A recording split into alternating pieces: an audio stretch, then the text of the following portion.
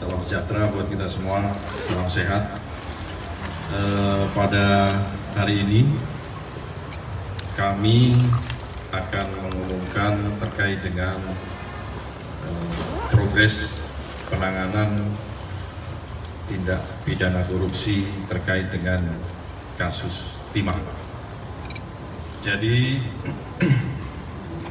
pada hari ini Selasa tanggal 4 Juni 2024 eh, tim penyidik telah melimpahkan kasus ini dari penyidikan ke penuntutan dengan menyerahkan tersangka dan barang buktinya atau lebih sering kita dengar dengan tahap dua.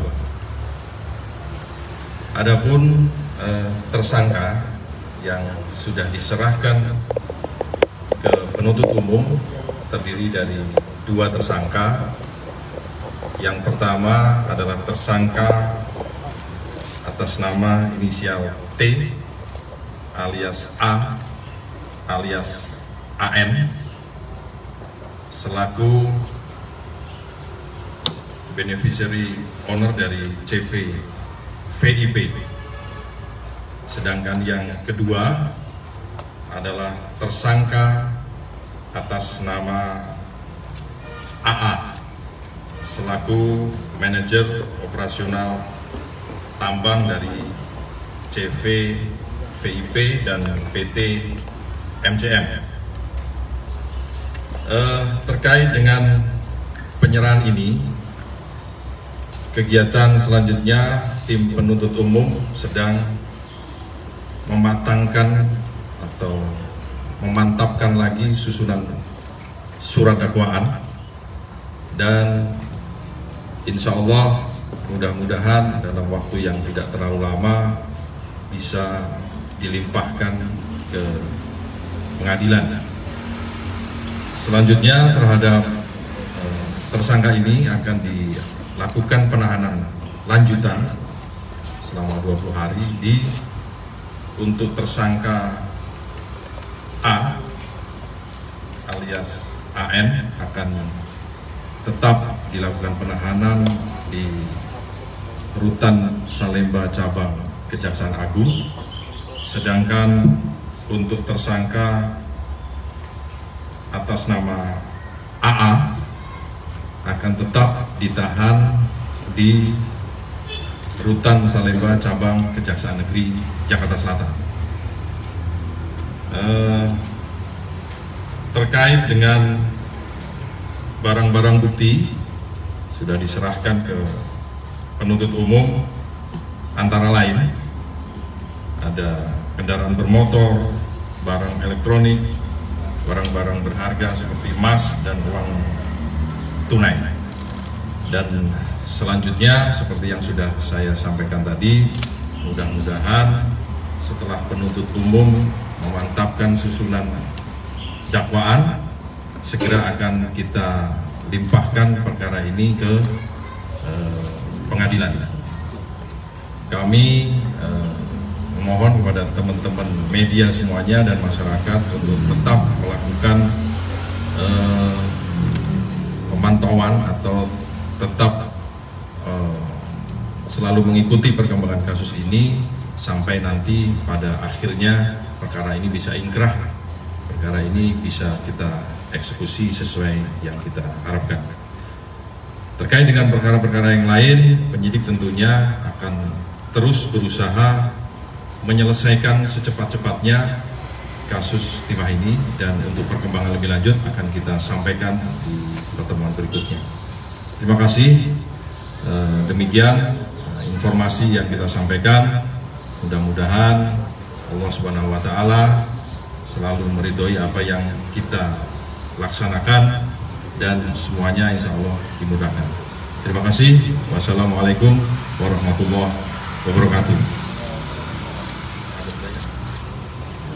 Ada yang mau ditanyakan atau enggak? Kalau enggak, selesai. Ini yang dilimpahkan kenapa cuma dua pak? Yang dilimpahkan kenapa cuma dua terus yang tersangka lain apalagi yang mau di mahasiswa dikejar kemudian tidak dilimpahkan bersamaan. Oke. Terkait dengan pelimpahan eh, dua tersangka ini tentunya tergantung dari eh, penyelesaian berkas. Sepanjang berkas itu selesai dan eh, semua alat buktinya sudah komplit pasti sudah langsung diserahkan. Untuk tersangka yang lain seperti yang sudah saya sampaikan tadi, eh, segera sesegera mungkin penyidik akan menyelesaikan itu. Nanti informasi selanjutnya pasti akan disampaikan. Ada lagi? Ya. Dari mana medianya ya? Eh, saya Fik- saya Fikri dari Bloomberg Teknos. Eh, izin eh, mau minta tanya apa rincian rincian barang bukti yang diserahkan itu apa aja? Kayak tadi kan disebut ada beberapa kendaraan, terus juga ada barang-barang elektronik, terus juga ada sejumlah uang tunai. Uang tunai itu juga berapa gitu? Terima kasih. Untuk perinciannya belum bisa saya rinci sekarang karena jumlahnya ratusan ya. Tidak mungkin saya sebutkan satu-satu ada di daftarnya. Tapi terkait dengan eh, uang contohnya jumlahnya pun ini juga miliaran.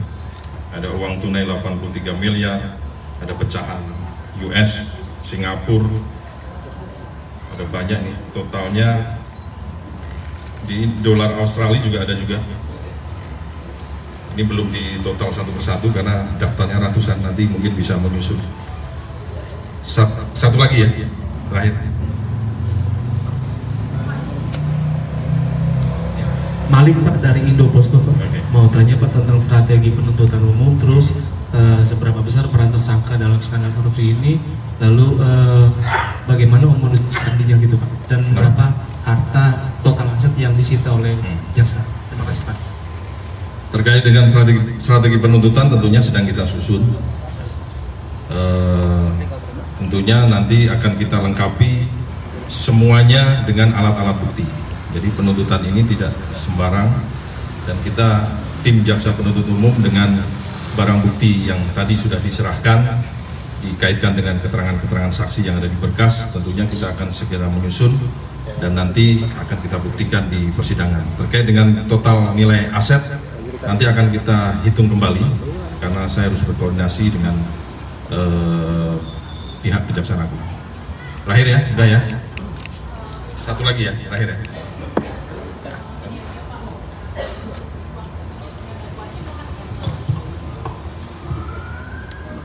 siang Pak, Dian dari Kompas TV. Eh, soal penyusunan dakwaan itu akan membutuhkan waktu berapa lama maksimal eh, jaksa penuntut umum akan menyusun dakwaan dan kemudian akan disidangkan apakah di Pengadilan Negeri Jakarta Selatan atau di eh, tempat lain. Terima kasih. terkait dengan susunan eh, penyusunan eh, dakwaan kita usa- usahakan secepat mungkin dan nanti ini kita akan limpahkan ke pengadilan tipikor di Jakarta Pusat. Udah ya, terima kasih. Demikian, makasih teman-teman media. Silahkan nanti untuk mengikuti perkembangan selanjutnya. Terima kasih. Assalamualaikum warahmatullahi wabarakatuh.